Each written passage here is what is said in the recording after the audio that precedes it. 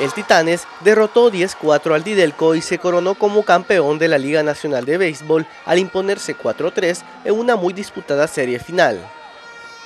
El juego, disputado en el Parque de Pelotas Saturnino Bengoa, tuvo un trámite muy parejo hasta el octavo episodio, cuando los Titanes anotaron un racimo de cuatro carreras para sentenciar el encuentro.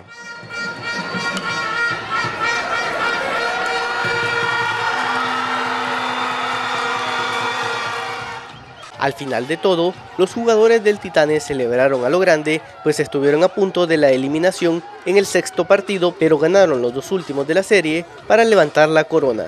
Nosotros jugamos todos los juegos duros, eh, en algunos juegos no nos salieron, pero eh, tú sabes, tuvimos a Dios del lado de nosotros y siempre mantuvimos la fe y logramos el campeonato. Ahí está el fruto. Eh, muchos dijeron, no, no van a llegar, los se acomodaron mucho, pero esto no es así, el que, el persevera alcanza.